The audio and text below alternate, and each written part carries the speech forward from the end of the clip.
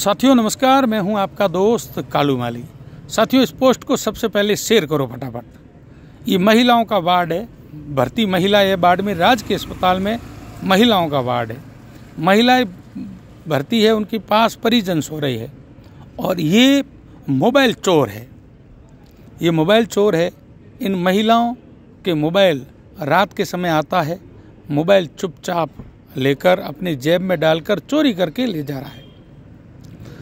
दिव्या और दिव्या की माँ दोनों ही अपने परिजनों के साथ बाड़मेर के राज के अस्पताल में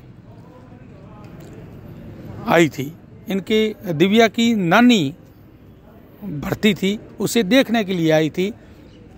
तो दिव्या की माँ अपनी माता के पास सो रही थी।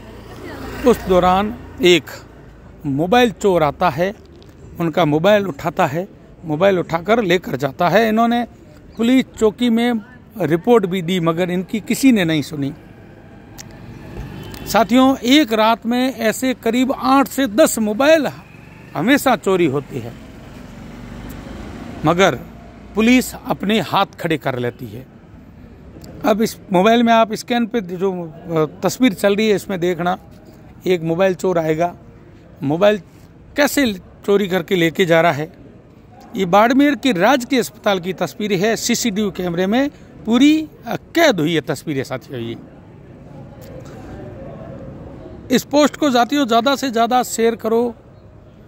इस खबर को मैं प्रसारित कर रहा हूँ। इस पोस्ट को आप शेयर करो ताकि हर घर तक, हर व्यक्ति तक ये पोस्ट पहुँचनी चाहिए ताकि हर किसी के राज के अस्पताल में काम पड़ता रहता है और सबकी आँखें खुल जाए। ये देखो, ये मोबाइल चोर है। ये आया, ये महिला सो रही है, इसका मोबाइल लिया, उठाया, अब जेब में जेब में डाला, रवाना। अब ये मुकदमा दर्ज कराने गई, इनकी किसी के नहीं, किसी ने नहीं सुनी। धन्यवाद।